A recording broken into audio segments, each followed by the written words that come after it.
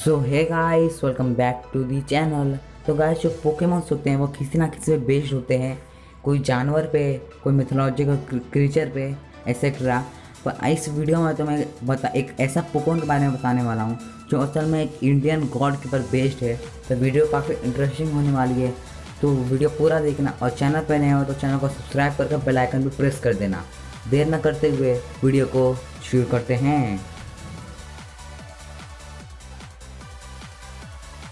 तो गाइस ये एक काफ़ी पॉपुलर पोकेमॉन में से एक है। और साथ ही में ये तुम्हारे फेवरेट पोकेमॉन की लिस्ट में भी शायद शामिल होगा। और ये काफ़ी ताकतवर पोकेमॉन भी है। और गाइस के पोकेमॉन असल में ऐश के पास भी था। तो गाइस के पोकेमॉन और कोई नहीं है, वो है इन्फरनेप हाँ गाइस इन्फरनेप एक पोकेमॉन है, जो असल में भगवान श्री बजरंग बली के ऊपर बेस्ड है। और ये मैं ऐसे हवा में बात नहीं कर रहा है ऐसा तो गाइस ये बल्बा पीडिया में लिखा है कि जो इन्फरनेप है वो मे भी हनुमान जी पे बेस्ड है और सन वुकोंग को भी इन्फ्लुएंस करता है।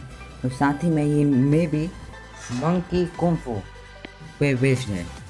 तो गाइस इस तरह ये प्रूफ हो गया कि इन्फरनेप एक पोकेमॉन है जो इंडियन गॉड पे बेस्ड है। तो गाइस वीडियो अच्छा लगा हो तो लाइक कर देना शेयर कर देना चैनल को सब्सक्राइब कर देना।